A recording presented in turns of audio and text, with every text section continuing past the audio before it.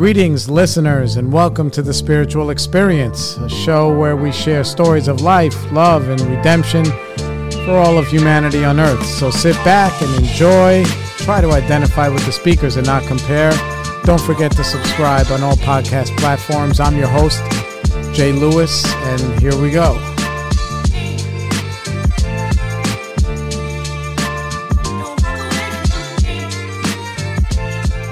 Okay, ladies and gentlemen, and identifiers, or whatever, or whomever you are, we love you all. Welcome back to the spiritual experience. We have a very, very special treat today with somebody that I have admired for a long time. And, you know, when you come into recovery and some of the guys that are quote unquote like old timers, when they take a liking to you, it's, it's almost like, you know, becoming a Yankee and then you're the bat boy initially, and then after a while you get to play on the field. So, without uh, further ado, I want to introduce all of you guys who don't know him to my good buddy Don. Hey, how you doing? And uh, thanks for having me. I think that you play me up a little bit, No, a little bit too no. strongly. You know. No, you you you've earned it. You've earned it. Uh, so, just so we can, uh, I mean, we were talking a little bit about, uh, you know, some of this stuff before we started about your lineage uh, in recovery, coming from, uh, you know, a, a home where you, know recovery was part of was part of everything. So, what was that like for you before you came into the rooms? Like knowing that you had like an inkling about this way of life. Well, it's interesting, you know, because I came up at the uh, tail end of the 50s and, you know, was a little kid during the, the 60s. And uh, my, my dad was sober before I was born. And uh, he was not a, a big presence in my house. I'm one of seven kids, and all of the kids, uh, you know, were running around doing their thing. And my, my dad was always working or stuff. Um, and I did not, um, you know, we were kind of forced to go to my dad's anniversaries. What was that like? Like when it you were a kid? just Like weird, you know. Um, the interesting thing is looking back at it now, it has great value to me. But at the time, I didn't understand. I didn't get it. Um, how many sisters and brothers did you have? there, well, at the time, I, I've got. Uh, there's only five of us remain now, but there were seven. You Oh, know, my I, was, I was the fifth of seven children. Oh, so the whole gang would go and everybody's clapping. Yeah, and, uh, mostly. And then as they got older and they refused to go, there was less and less of us, but we went every year. And we often went to, um, like they would have, uh, my father went, was a, uh, a big supporter, and his home group was, um, was the Bay Ridge group. And the Bay Ridge group used to have these big dinner dances, like the Bill W. dinner dance. Wow. You know, with all these people. And a lot of the local groups, um, uh, would, would join in and they'd have these big parties and they had this guy, God bless him, God rest his soul, Eddie Farrell, who was like the uh, Lawrence Welk of AA. wow. Uh, you know, and I remember these guys. I remember he had a gas station. We used to go there on a Saturday afternoon, and my father would sit and talk with him, and I'd be like checking out the gas station, stuff like that. Um, you know, so I had a lot of exposure to old timers. But when I was a, a kid and I was going to these events, I really didn't understand what the program was about. I really didn't understand um, what that was all about. It was just all these people getting together and having a big party it was like a community. very much a community. And I grew up at a time when um, I lived on a block where all the parents, you know, hung out together. They'd all go to one house on the weekends and they would drink and who was chasing after whose wife and stuff like that. That was the norm. And Wow. my parents weren't there. And over time, I've heard people, neighbors, you know, uh, making comments about, you know, the, my weird parents because they were never around and they were antisocial. Meanwhile, they were out at all these uh, sober events. Right, with the other actual real weirdos. Mm-hmm. That's So I grew up to believe that my parents were weird. Right. Um, I grew up at a time when sex and drugs and rock and roll was a way of life for a lot of people, including myself eventually. Um, and my parents were not part of that. And Right. as I grew up and got to the age where I'd be a little bit rebellious, I started to see my parents as uh, too strict, no fun, and, you know, not like everybody else. My parents were the outsiders. And in the society that I lived in, they were. Right. So I, you know, at 12, I went to one of these parties at a house, a house party on my block. My parents were out at some, it was New Year's Eve. My parents were out at some sober event. And I went and I, uh, uh, we stole a bottle from upstairs where all the parents were getting drunk. And I got drunk for the first time. And for the first time in my life, What was that like for you? It was amazing. Yeah. But my first reaction was, they. You have to understand that I grew up in an environment where alcohol was the boogeyman. Right. My mother told me every single day that if I drank, I'd be an alcoholic like my father, and I didn't get it. Was she saying it like in like a Oh, like a like- resentful way? Really, like if you drink, you'll be an alcoholic like your father. And I got that every day. My mother was very heavy-handed, and uh, basically, I didn't get it. He, I, you know, he wasn't around. He was working all the time, you know, and, And he was already sober. uh, and he was already sober. So you don't I- know I- that guy? I, I, didn't. I didn't know. Right. You know, and uh, I had an experience. We started to talk about this before. You know, uh, for various reasons. You know, members of my family were estranged for a while, and um, I called up my my brothers, and I said, "We have not all four of us." There's four boys and three girls, but all four of the boys had not been in the same room in over 20 years. wow. And I said, We're getting together. So we went down to Virginia Beach and we had this reunion. But during that reunion, there was a conversation. The, there was two groups of kids. There were the, uh, the three older kids, and then there was a gap of about eight years, and then those four younger kids. And the four younger kids were all a year apart. Wow. And the, the three older kids were no more than two years apart. So they were, you know, the big kids and the little kids kind of thing. And, uh, and what happened with us was, you know, I got together with my brothers, and my two older brothers started talking about the fun dad. Wow. They started talking about if my father would come home with uh, with half a load on and get down on the floor, and they'd jump on his back and ride him like a pony, and my mother would go nuts. Were you were you mad that you didn't know that guy? No, I was I had never heard. I was you know sober a number of years before I even heard this story. Right. Um, and uh, it was just it was interesting because it, it opened up my perspective. You know, my father was this guy that came home, and I used to I used to say, and you know, I, God forgive me, you know, I used to say this poor guy, he married this woman, and he's got to you know he's got to put up with this for the rest of his life because she he would come in and she'd be like, "Bop, bop, bop, bop, bop, bop, bop, bop," you know, she was, and then she got into Al-Anon, and No over the years she calmed down. So my parents were nuts. Right. I mean, you have one person who is living that alcoholic life, and then the partner who ends up with like PTSD. Right. Basically, by the time he gets sober, that she's been having to corral him for so many years. At that time, had these three kids, you know, and then obviously, I mean, this is not a time in America when people are just pushing a button, getting a divorce, and like whatever. Like people like because in my family, like people would stay regardless of how many plates went against the wall. My mother once told me that she considered putting a pillow over my father's head and, and killing him in his sleep when he was passed out drunk. Rightfully she said so. Because that was less of a sin than divorcing him. That's so wild. That's Yeah, so wild. So really from wild. so from that party at 12 years old, what happens next? Oh, I just ran with it. They didn't want me to drink because they didn't want me to have that kind of fun. Oh, I fell down. It didn't hurt. I could talk. I was very shy, and, and I wore my heart on my sleeve. So I was, you know, abused by the other kids and stuff. None of that mattered anymore. right. So for the next 30 years, Finally, you mattered. Yeah, but for the next, I mattered so much that nobody else mattered, and I became th- this uh, alcohol and drug driven, selfish bastard. Wow. And um, and that went on for 30 years. It got progressively worse. The first 10 years, we were, you know, we were kids. We were partying. We were having a good time. The second 10 years, it got a little messy. I was very, very good. My parents used to say things to me like, when you get arrested, not if, when you get arrested, don't call here because we won't come and get you. You got to deal with your own stuff. Right. So I became very self sufficient. I knew what the laws were.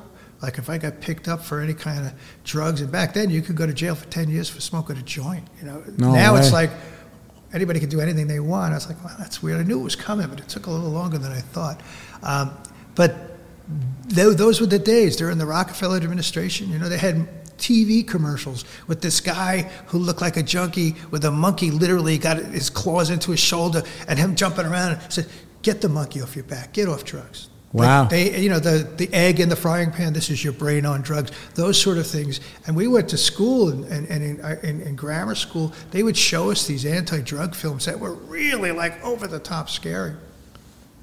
You know, and then I got, you know, and all of that was like, oh my God, I'm going to stay away from that until I realized that it was all a lie. Right. Um, and for most people, it's a lie that they can sustain. Right. But for me, being an addictive person, it became a life where I had to make up my own lies. I had to lie to myself more than I had to lie to anybody else to, to prove that uh, my life was okay, even when I was off the rails. Did you have this addictive mind before you picked up? Did you notice that you were like that? Or was just this the first concrete proof like, hey, man, I can have this tunnel vision and where nothing else can matter? I probably did, but I didn't have any vision of that. Right. You know, it wasn't until I started drinking, and I knew I, I had my first drink when I was 12. I knew by the time I was 14 that I had a real problem. Right. And I stopped when I was 42.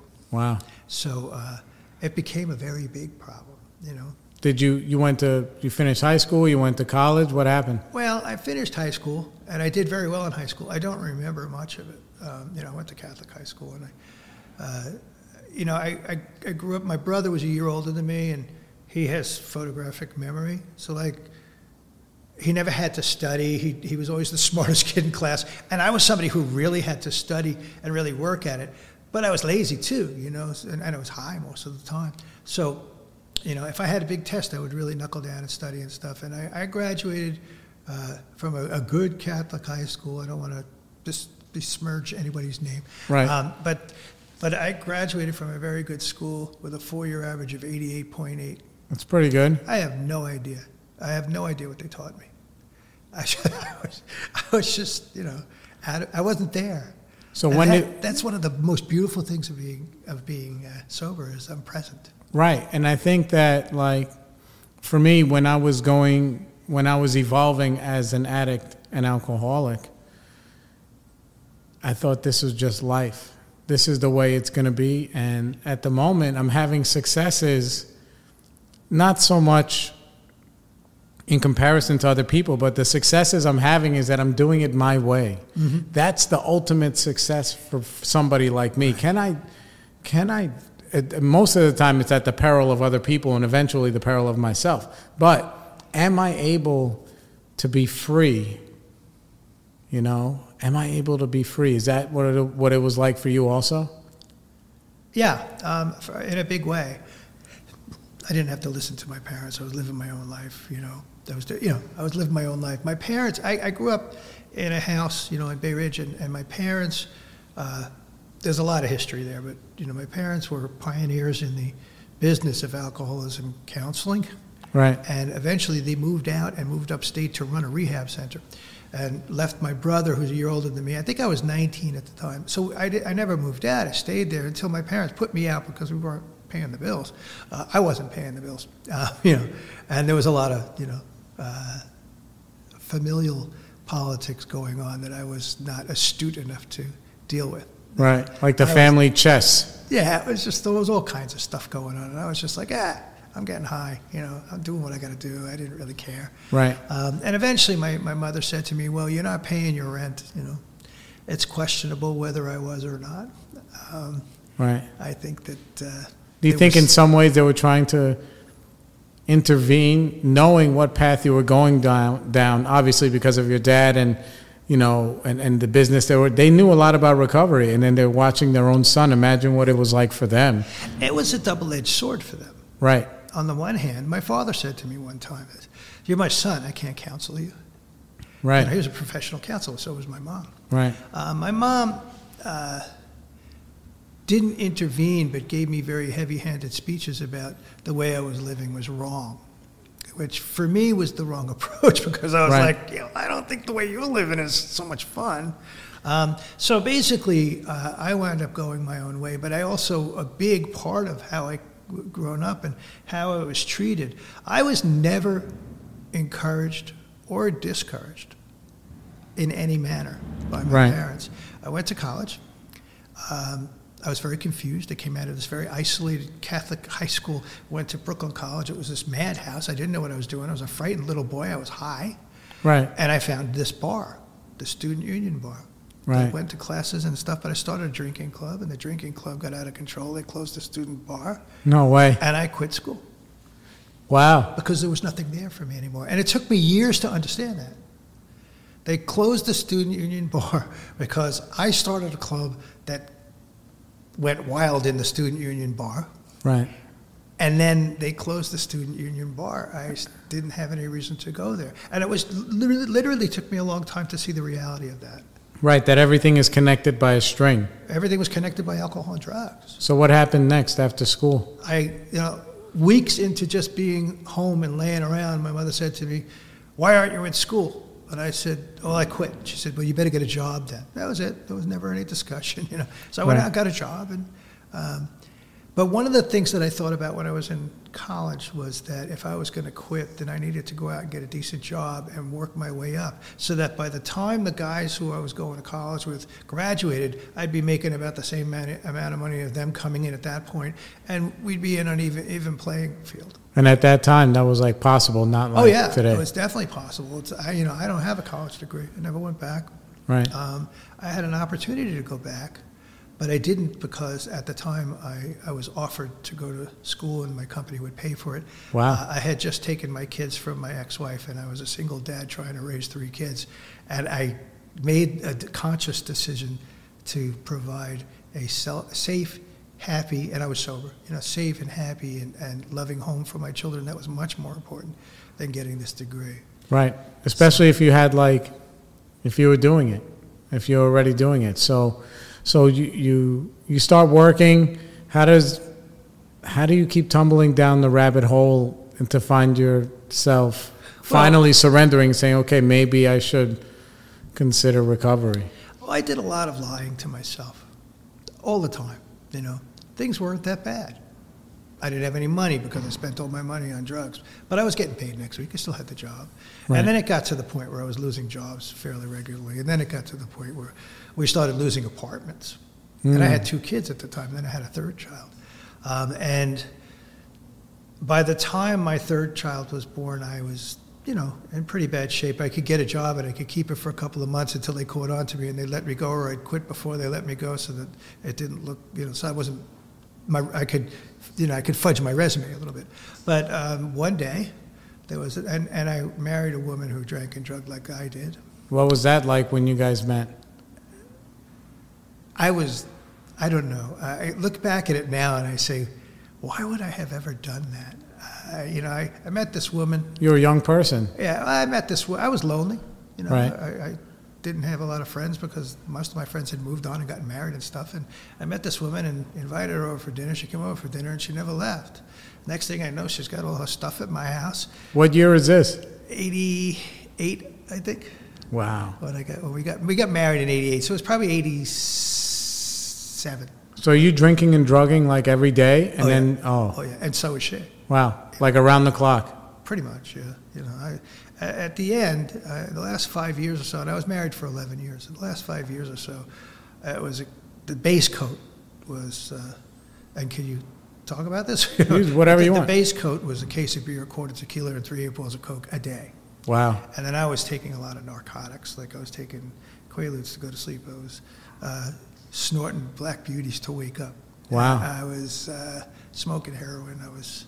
Uh, there was a lot of, you know, like anything I could get my hands on, and there was a lot of pills and a lot of, you know, other substances involved. But I was a case of beer, quarter tequila, three eight balls of coke, and I got deeper and deeper in debt. And then one day, and I knew that the solution was there, you know, but I, I didn't. I still didn't understand my parents' lifestyle, and you know, but I saw them grow up, and I didn't know what I was seeing. You know, they were very angry and uncomfortable people when I was a little a little boy. Right. And now I'm in my 20s and 30s, and, uh, and my parents are two of the most spiritual, really happy people that I've ever known, and I don't know how they made that jump. Right, right. So to, to you, it's a jump because you know you have you're isolating yourself from any kind. You know, the days turn into years when you live that life. You know, I know firsthand, and then so you don't even see the evolution No. Of how that happens. You and know, the evolution didn't happen in front of my eyes. The evolution happened at meetings. The evolution happened at conventions. The evolution for them, excuse me, was very tied to work. Right. My father was well known because he was sober for a long time, and the uh, Brooklyn VA. I don't know if you know this because I know you, you've done meetings there. Yeah. But the Brooklyn VA uh, somehow uh, got in touch with my father and said, "We want to start an, uh, an outpatient program for alcoholism. Would you be the director?" no way. And this is before there was ever anything like this. So the first outpatient treatment program for alcoholics on the eastern seaboard was at the Brooklyn VA, and my father was the director. Wow. And he was there for a number of years. And this is early 70s, I would think. Wow. You know? And, uh, you know, late 60s, early 70s. Uh, I was a little kid. And um, basically, uh, after being there for a number of years, and, it beca- and the, the program was very successful, he was lured away to Lutheran Medical Center Right. to be the director of their outpatient program. And the, one of the big lures was that he was allowed to bring my mother along as a counselor. No way. And so, like all of these people who I knew from my parents and got to know even more, because now I'm not going to college. And for a couple of months while I was looking for a job, my mother's forcing me to go pick up my father on 49th Street, where Right. the clinic was, and drive him and all his uh, local counselors home. So I got to know all these people, you know, and they were Mary Backus and, and uh, uh, I think it was Jim Kavanaugh. Were there any seeds that were like planted Oh, in, absolutely. in hindsight, or you just like these old people? Fuck them. I just I'm, Well, you know, in one way I was looking at it that way, but the other hand, you know, they're telling jokes and they're really funny and they were really nice people. And then I was forced into Alateen at one point. Oh. The woman who was the, um, the explain what Alateen is for people who don't know. Alateen is a, a very useful and very productive program. It's like a AA Junior, you know, Right. where, uh, children of alcoholics. It's it's run by Al-Anon, so it's part of the family recovery, right?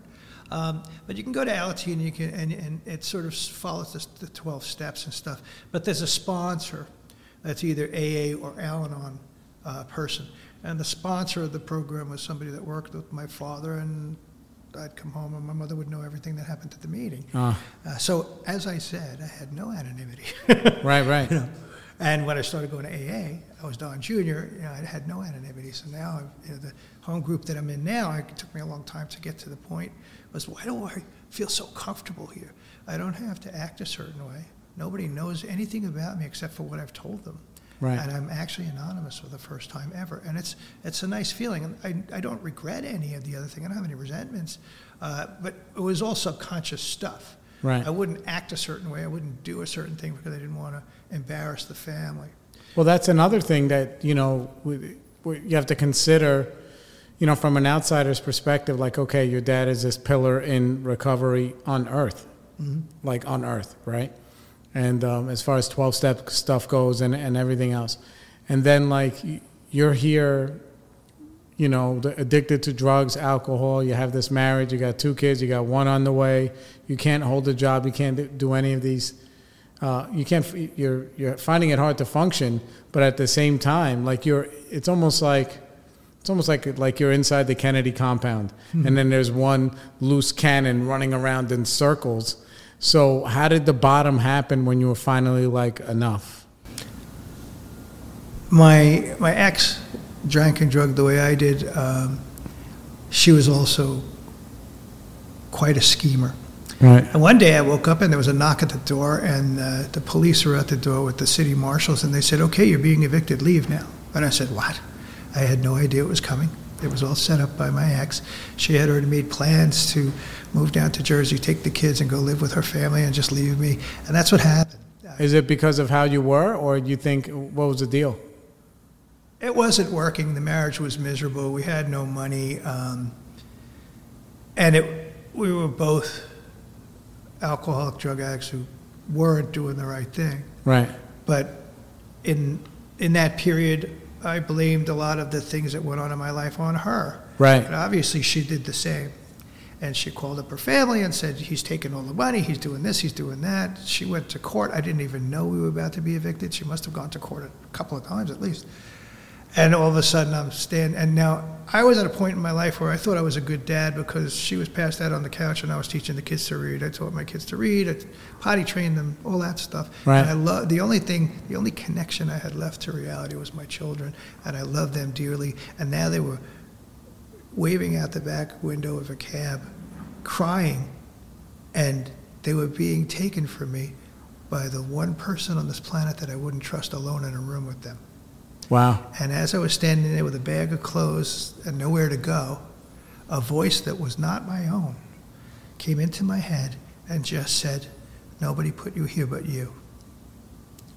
And all the lies I had told myself, and all the lies I told everyone else, and all the denial and all the BS melted away, and I was crushed, literally crushed under the weight of that. I thought that I was having a heart attack because I had serious pain in my chest. It was just this. Know. It's like you've been avoiding the truth for so long, and finally, a, a good a good analogy. People, the way people have described it to me, because it, it's similar to my own stuff, is that like you know when you're an alcoholic and, and a drug addict life is basically a person driving a car, drinking beer, and throwing all the beer cans in the back of the car. And then eventually, when it comes to a stop, it always comes. It's never like, it's never a nice downshifting to an. It's always an abrupt. Like we're always the last people to know. Right. The brakes get slammed on, then all these cans come flying forward for 10 years, 15, 20 years of you being out there. And then here you are with your bags, your kids are gone, and you're all alone. That's incredible. And uh, that was my first spiritual experience. Right. You know, I'm sure I had spiritual. I've, I've always believed in God, but then I was told that my what I believed was wrong because it didn't align with what I was being taught in school. Now, did you make the connection, like at that point when you were just like, okay, like I, I can't do this anymore? And then you, because you spoke a lot about, okay, I went to this Catholic school and it was strict and it was this, were you thinking about that God or was it something else? I, it was something else, but I didn't know it at the time. Right. Uh, what, what, my first thought was, what do I do now? I'm never going to see my kids again. She's going to kill them. Right. Because she didn't, you know, she didn't take care of them. I took care of them. Yeah. You know? yeah. Um, and this intense uh, hatred slash jealousy uh, developed over time. But that day, I said, "What am I going to do now?" And I said, "Well, let me call my brother-in-law, also in the program." And uh, my parents had come by and given her. I was in the shower. And they said, "Let me take a shower. I'll get back and I'll get out of here." I was in the shower. She called my parents, who happened to be in Brooklyn. Uh, they were. It was like a uh, Monday or something. They were going back upstate, and um, they came over and gave her hundred dollars for a cab so she could leave me. No way. yeah. Thanks, mom. Dad. I didn't know this at the time. That's funny. But uh, and then I was, and then they left. You know, I didn't even see them. And then uh, basically they had given up on me and they had said, you know, you got to do whatever you got to do. Right. We can't help you. And um, I called up my brother-in-law. I was on a, a on a payphone. And he said, "What's the number?" And I said, "Let me read off the number to you." He says, "Wait there. I'll call you back." I'm like, oh, geez, you know. So I'm standing there with this bag of clothes, and the phone rings and I pick it up and he says, "Yeah, you know, if you want to come and st- stay here, can I, I?" I said, "Can I stay with you a few days?" You know. Right. He said, "If you want to come here uh, and stay with me, uh, stay with us. That's fine, but you got to sleep on the couch." They have four kids. Two were away at college. They had two empty rooms, but I had to sleep on the couch. Right. Um, and he was instrumental in, in getting me to meetings and showing me the ropes. That I love him, and you know, I have a, a great deal of respect for him. He's 31 years sober now. Wow. So when what meetings did you start going to? The starting point was the first meeting I went to. No way. And I walked in and I sat in the back and I was like one of those uh, football players on the, the, the the vibrating game. The chair was literally moving around. I was shaking so much. Right. Um, and I, you know, and then he took me to all the meetings in the neighborhood. We went to once again. We went to Starting Point. We used to go to St. Rosa Lima. I, I don't remember the name of the group at the time. Uh, it may have been Southwest. Right. Um, and um, and then you know up to Holy Name, which I live right here by now for, for Right. Hilltop. And, but every night he took me to a meeting. you know. Now you, now you also knew the program peripherally, going to all these anniversaries and whatever. But still, the first time you going in there for yourself, did you have any ideas? Okay, this is the last stop for me, or this is going to work. Like, what were you? What What were your thoughts? I had no idea.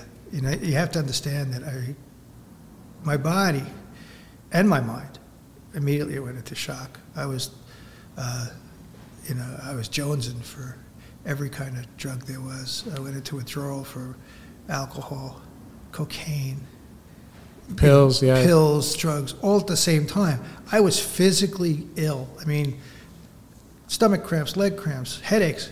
Couldn't sleep for more than 20 minutes at a time. Smoking a pack and a half of cigarettes a day, um, that sort of thing. Always dehydrated. Uh, and that went on for a very long time. I, I would say that I really started feeling like normal, healthy. Uh, it took about six months. Wow. So, and the other thing that we always want to emphasize here, this was obviously a long time ago, and um, even for myself, is that if you're having a problem and you want to clean yourself up, we always recommend you get medically removed. Right.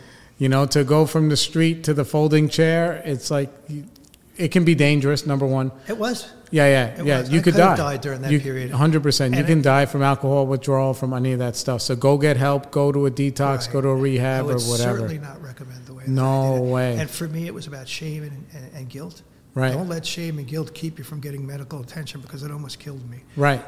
My six parents- months. It took you six months Oh, to was- dust yourself off, basically. And I got a job Oh, after God. a month, and I was going to work. What was your first like- job? I, I, got a job as a, you know, I, I, I did some computer work. Um, so I got a job as a guy that was installing PCs at this company that was uh, going through a big growth spurt, but they were also moving from mainframe to PC networking. And it was pretty early on in the networking.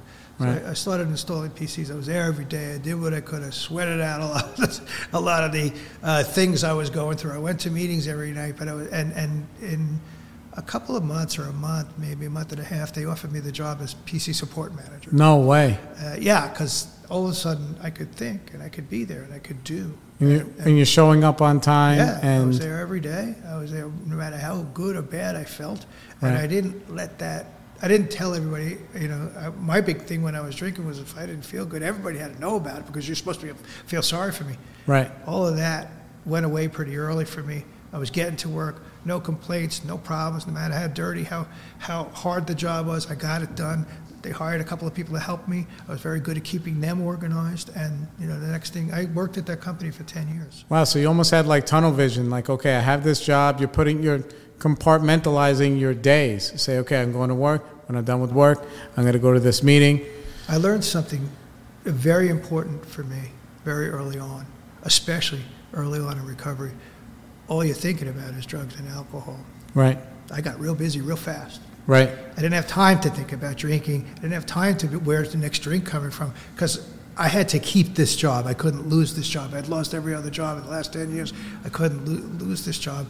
And my brother-in-law was really uh, great. What he said was, you know, I know there's two empty rooms upstairs, but you're sleeping on the couch. The reason why you're sleeping on the couch is I don't want you to get comfortable here because as soon as you have enough money, you're going to go get your own place and start your own life. Wow. And he gave me an envelope and he said to me, Here's an envelope. And I, and I said, Okay. And he said, Aren't you going to ask me what it's for? And I said, Okay, what's it for? He says, Every week when you get paid, I don't care how much money, but you put whatever you can into that envelope. And eventually you have enough money in that envelope to get yourself an apartment. And when you do, go. Right.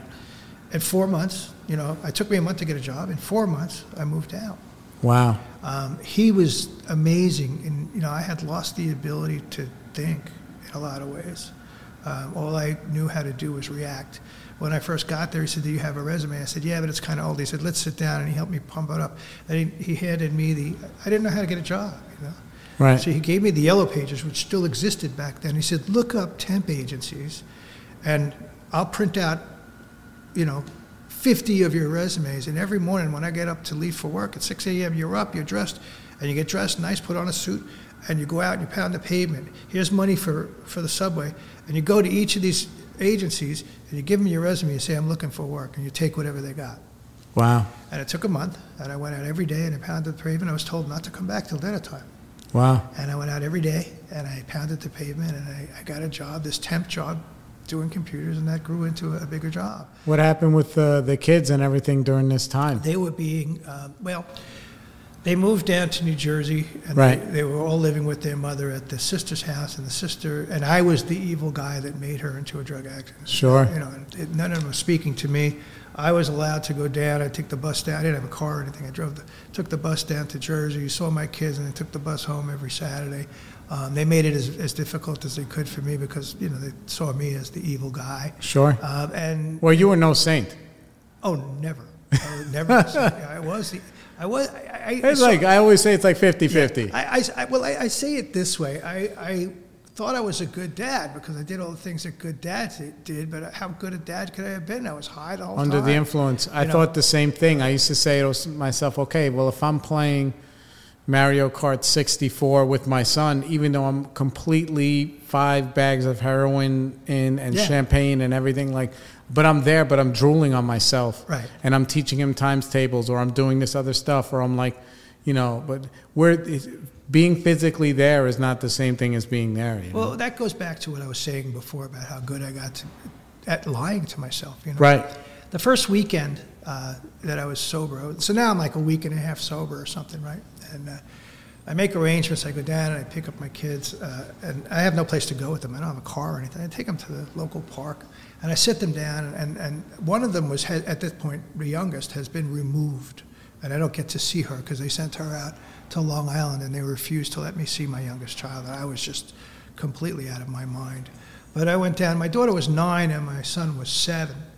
And I sat down and I said, you know, I just want to apologize to you. The reason why we're not together is that I have a serious drug and alcohol addiction. And my nine year old daughter looked at me and she said, You think I don't know that?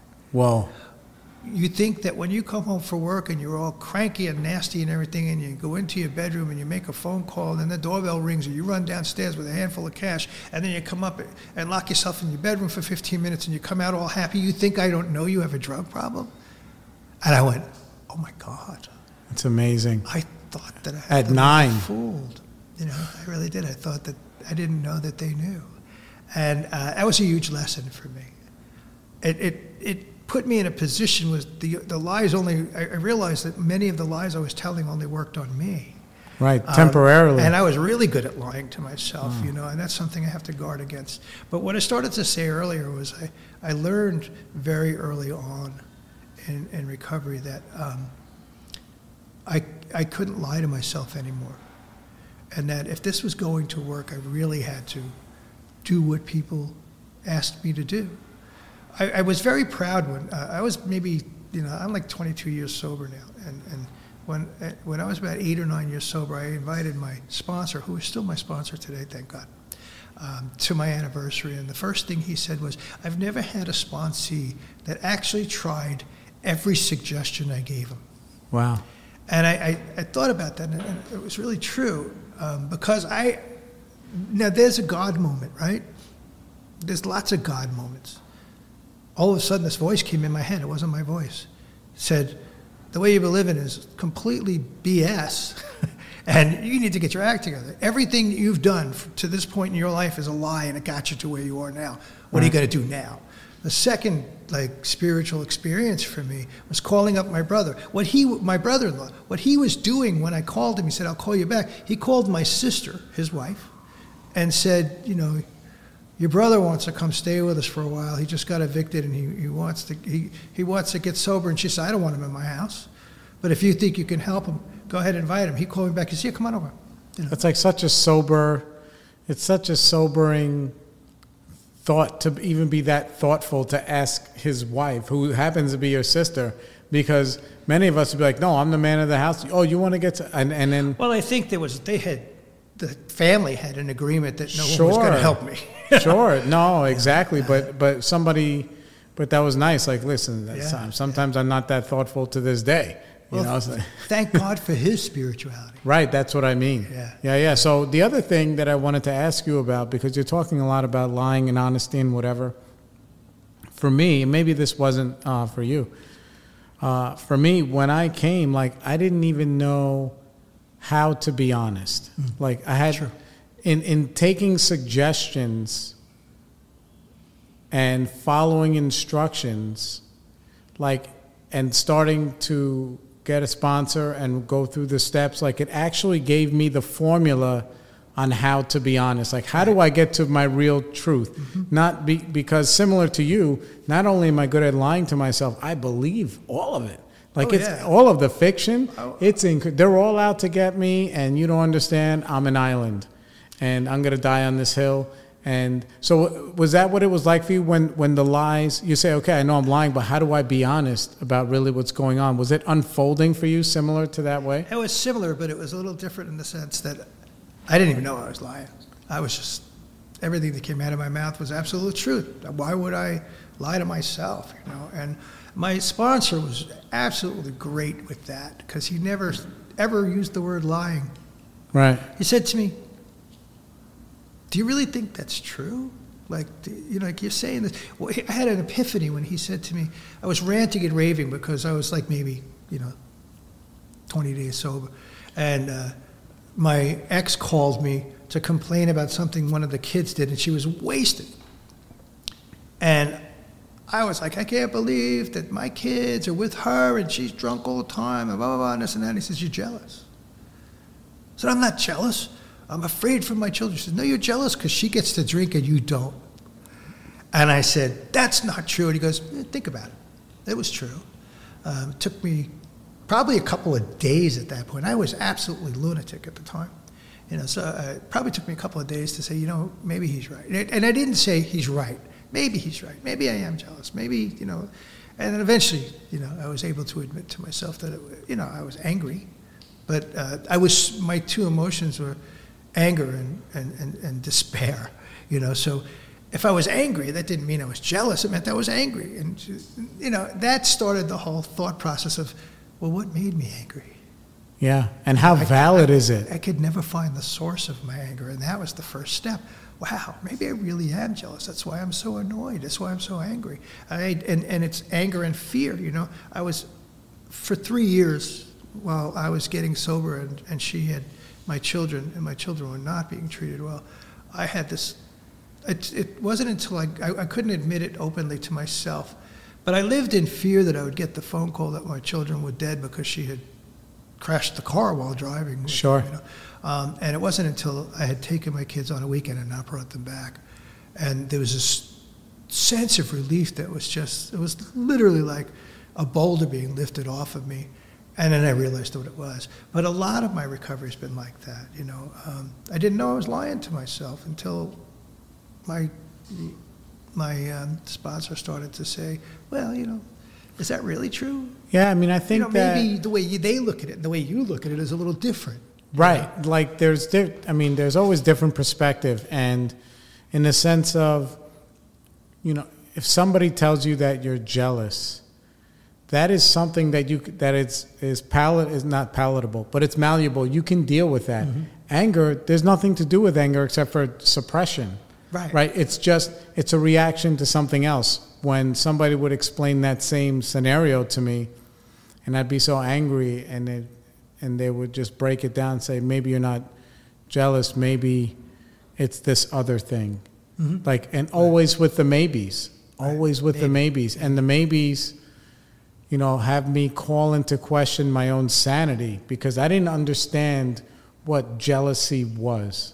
I didn't even know what envy was. I didn't know what any of that was, or self righteousness, or when somebody says you're addicted to self, that everything is about you. It, it doesn't even, like, nobody else matters when you're in those moments, that you're not even thinking about the kids.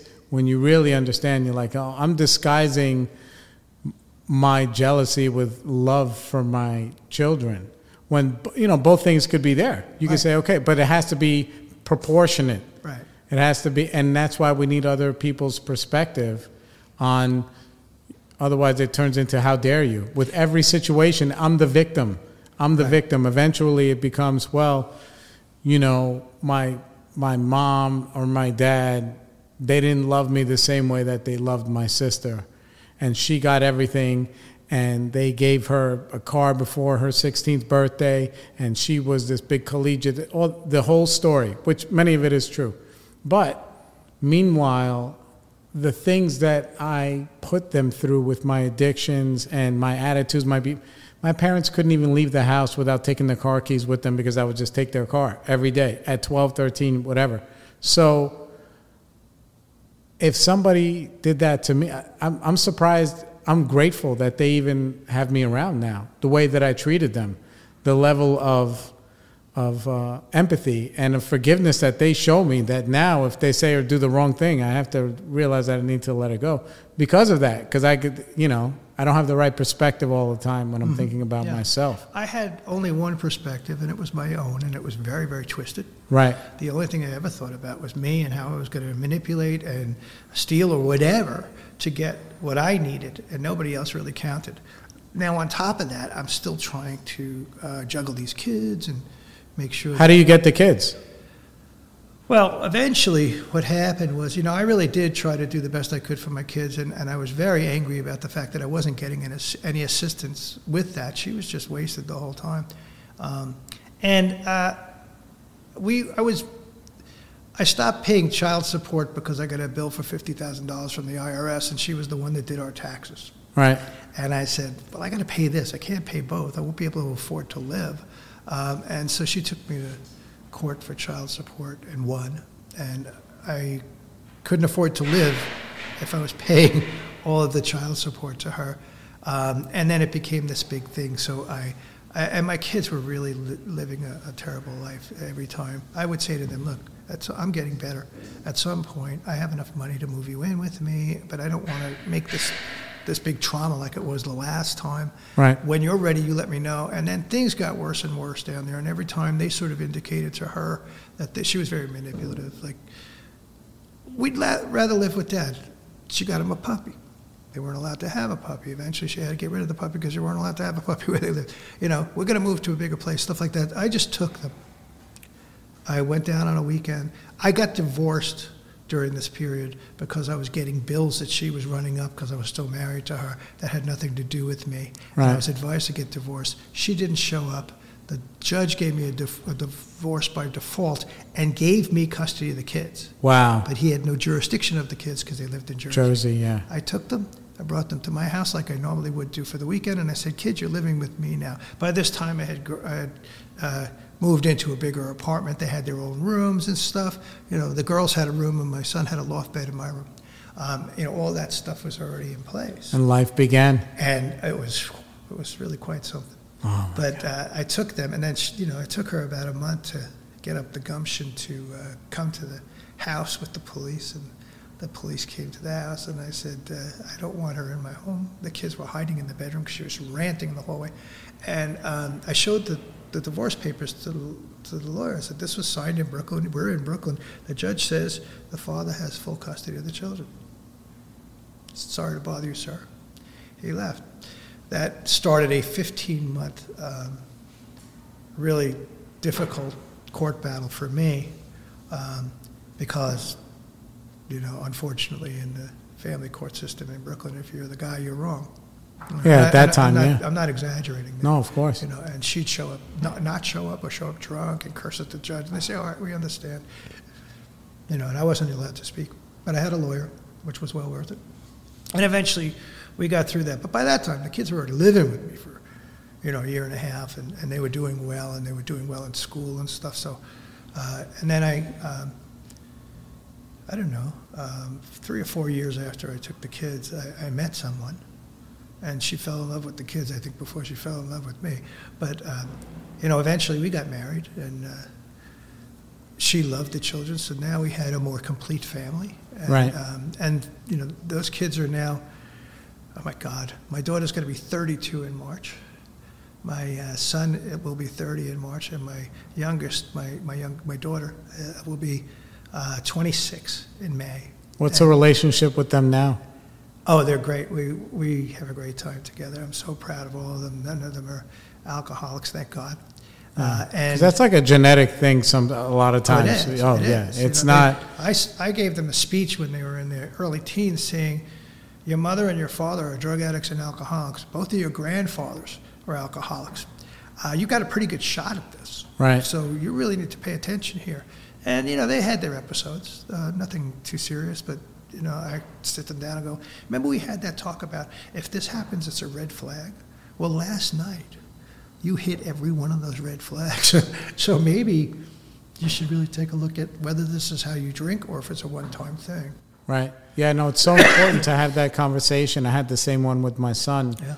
where I say, if you're genetically predisposed to have this disease, whether the emotional, the mental part, the spiritual part, most like most importantly the physical part of the sickness where once you start you cannot stop, that has nothing to do with you. But I'm letting you know that in our family, alcoholism and drug addiction is like Sunday dinner. Right. You know, so you come from this lineage, so you need to just I would never tell him, all right, you can't drink, you can't smoke pot, you can't do whatever but I would let him know that like you you could have a problem with it, and if you do, it's going to be very bad. You know, Yeah, and luckily for me, he doesn't. You know, One of the things that was super important to me, I was the.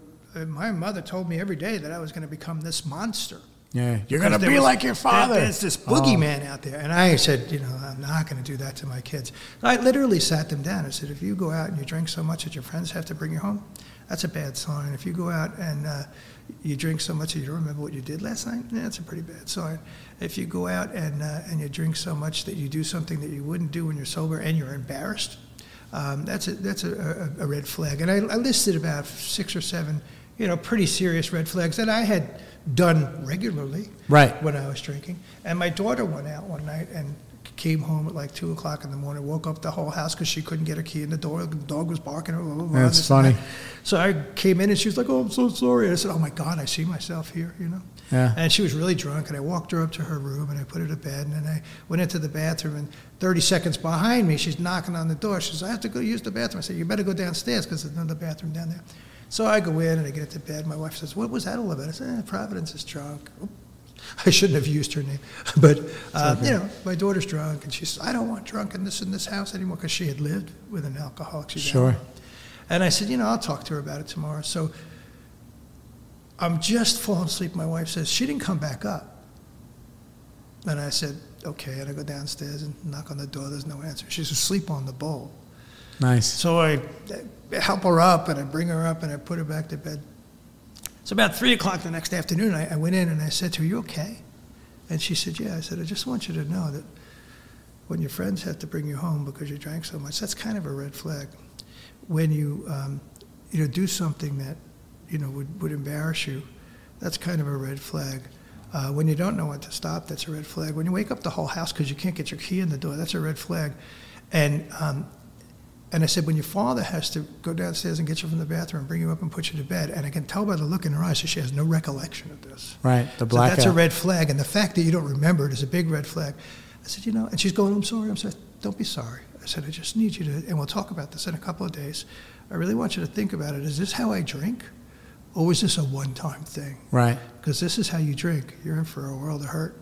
Yeah, yeah. I said, I just don't and want you can't even save them from that. yeah, so a couple of days later, I, I had a conversation with her. She said, "No, I don't drink that way." She said, "You know, she was kind of shy, and she was. These were people that she worked with, and she went out with them. She was underage. She, was, she wasn't 21 yet. She was Yeah. like 18 or 19." And she said, "You know, people kept buying me drinks. I didn't want to say no." And this, you know, she told me all this stuff, and I said, "Well, here's a few hints." I said, "If you only drink your drink down to halfway, nobody's going to offer you to buy you the next one." And no one is going to give you a hard time if you say, No, I think I've had enough, I don't want another. And she said, Oh, I never thought of that. I said, If that's, you know, if that was a one time thing, that's great. You know, she told me, she was in for Christmas, and she told me, she said, I, don't drink anymore. I said, Oh, did you have a problem with it? She says, Nah, it just cost a lot of money, and it really didn't do me any good, you know. She said, You know, we went to the, we, we were in Colorado, and uh, she said, I went to the, to the, the weed shop and I got these edibles. She says, What a waste of time. I ate it and I fell asleep. It's so funny. so, you know, But you can see, like, mentally the difference where she's saying to you, people were buying me drinks and I didn't want to say no. right. Where, like, if somebody was buying me drinks, the thought of saying no would never even enter my mind. Didn't I would just say either. thank you. But for just- different reasons. Right, the you exactly. know. For me, it was, yeah, keep feeding me drinks. To Exactly. For her, For was, her, it's just I don't like, wanna, I don't, I don't want wanna make I want them to like me. Right, exactly. Where you know, I had the same situation. with My son, he was in uh, was he in junior high school? He went to Cavallaro. Anyway, so he's in junior high, and I see. You know, I somehow hacked into at that time. He had like a Facebook or a MySpace or something. I hacked into his social media. I see that he's like smoking weed, right? He's you know, kids don't know how to hide things effectively, especially if their parents are addicts. Like, you know, you'll never, it's very rare. So I see that he's doing it, and he's, he's coming home and he's, you know, he's, he's sleeping on the couch after school, whatever, that kind of stuff. And I let it go for like a whole semester. And then he failed like everything, right, in school. And then I the conversation I had with him, I was like, listen, if you can't somehow pass gym, then maybe smoking pot is not for you. I'm not going to tell you don't do it, but I'm just saying for yourself, look at it's one thing if you're going to fail chemistry, calculus, whatever, but you failed gym, brother, in the eighth grade from smoking pot. It's it's probably not for you. And um, and then he just you know he went his own way, and he you know I'm sure maybe he smokes a little bit here and there, but you know we we have to be grateful, man. I mean, Oh, your dad, you, look, your brother-in-law. That means your sister married an alcoholic. Your wife came; she already had experience. to an alcoholic. Right. Like it's so, you know, here we are circling this drain and then, you know, two things that are happening. One, you know, if you don't have a child that's living with the sickness, that's incredible. But most importantly, is that they don't have a dad that is like not just living with active addiction, but not drinking, not drugging, and just enduring life as an angry, dry, unsensible person. Well, you spoke to your daughter like a human being, not like a, you know, not like, not from a place of, you're not talking, well, you're talking with her, you're not talking at her or Right. through her, right? excuse me. I never had. Um, my parents never talked to me about it. You know, my mother, when I was high and stuff, would talk to me about how I shouldn't be high. But I never had the kind of conversations that with my parents that I have had with my children. I never lied to them. You know, they never asked me about uh, me being on drugs. Like, are you high right now? I would have told the truth. Right. Um, but obviously they knew, right? But um, there was a number of things that happened. I was always very honest, especially I had a, a, a very interesting conversation and a very interesting relationship with my oldest. And um, she's the one that said to me, "I don't drink anymore because it was boring. You know, I was like, holy cow. Um, but I had a conversation with my son that uh, I said, you know, you're Don the third.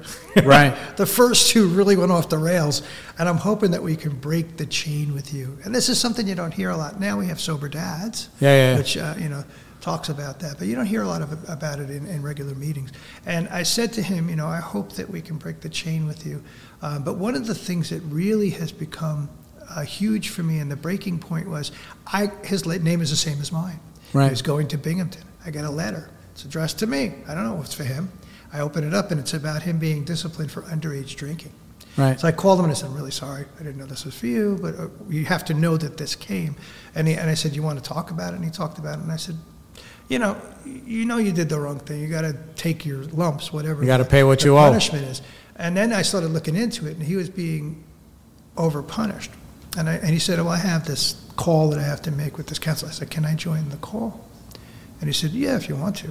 So I get on the call, and, and she explains what happened and everything. And I said, I just want to make a couple of points. My son told me that these people came in, it was a party in a dorm room, and the campus police came in and they checked for everybody's ID, and 15 people in the room said that they didn't have their ID with them. So they said, All right, go. And five people who had their IDs, they took their IDs, and those five people are now being punished. So you're teaching the students that the best way to deal with this is to lie, because I, I don't believe that all of those kids did not have ID in their pockets. They just lied. And so by being honest, my son is being punished. He did the deed. First of all, they had all these weird rules. Like, if you got caught with a case of beer, you got this. He had one beer in his hand. He had two sips out of it before they came in. He wasn't drunk. And they were throwing the book at him. And I said, I read your rules of discipline. And your rules of discipline say that if you're caught with, like, with one beer, you should get a warning. You're putting him on probation for a year. Maybe you should read your own rules. I said, this is a kid who uh, is very respectful. She's, that was the first thing she said. You know, he's been very respectful. We told him he had to take this online course on underage drinking. He took it the next day. You know, and I said, yeah. So the guy who you want to be a good student at your school is the guy that you're punishing. And you really need to look at how you're doing this because you're teaching these kids that all they have to do is lie and they'll get away with it. Right. So, but he's an honest kid. So they were like really apologetic. They removed. But the, the end of the story is late, later that day or the next day, he called me and he said, Thank you so much. He said, Nobody ever stuck up for me like that. I said, Well, you know, you got to do the thing. I said, But remember, there's a couple of things. Like, you now have this on your record. If you go out and get drunk and walk back onto campus and the guy at the gate stops you and realizes you're drunk, They could throw you out of school. This should not be on your record because you were supposed to only be warned. And I said, and you're willing to, you know, do the right thing. So why shouldn't you be treated fairly? And he was like really impressed with that. And he and I, and it really opened up a whole different kind of uh, relationship for us. He called me a couple of weeks ago and said, I've just applied for the job of president of my company. He's 30 years old, and he's probably going to get it. you know, like, where did this kid come from? You know, um, right. but you know, it, it, this kid came from seeing the the really downside and the bad side of alcohol and drugs in both his mother and his father. Saw his mother die of this disease. Yeah. And saw his father get sober and grow up. Redemption. You know, and and you know, he, we have a great, you know, I have this kind of relationship with all of my children, and I am incredibly grateful. And I pray and I meditate before I have a serious conversation with them. We recently, my wife and I are doing the steps together. It's the advanced program. Um, it's really, it's really quite something. But we did uh, uh, step nine um, and made amends to each of my children, and each of them had a very different reaction. But my oldest said to me, "You know, it's been great seeing you and, and, and my stepmom, you know, grow in this program. Although she doesn't think she needs it herself, but the jury's out on that. Um, but uh, she said, you know, the, the way that you have proven that you're serious about your amends is that for the last 22 years, I've seen you live it. Right. My son said, you know, I think it's great, and we talk a lot together, and you offer me a lot of good advice, but sometimes I can't get a word in edgewise, which is true of me, as you might have noticed. Um, so that's something that I need to work on. And, and my youngest uh, said to me, you know, I am really happy to be, and now she was around the longest, she only recently uh, moved out. She says, I'm really happy to see, you know, how you guys are growing and stuff. And the biggest complaint that she had was that, you know, we would have arguments in front of her, and that would, you know, after the business with her mother and all the yelling and screaming and everything, uh, that really makes her uncomfortable. So she said, you know, I see how you're not doing that anymore, and I'm very grateful for it. And now I'm out, and the fact that you're not calling me every day and you're letting me have my own life. I said, well, that's what this is about. And I am eternally grateful. And that, you know, those are spiritual experiences for me. Without the, the help of AA and God, I would not be here today. And they would not be who they are today. Absolutely. All right, let's wrap this thing up. Don, it was incredible. I got to talk to you for another hour, but uh, we got a meeting to go to. This is true. Absolutely. So thanks a lot, everybody. We'll see you soon. Peace. Thanks for having me. God bless you all. Bye bye. We want to thank you all for joining us today. And please don't forget to like and subscribe on all podcast platforms and find us on Facebook where you can become part of our family. We'll see you around.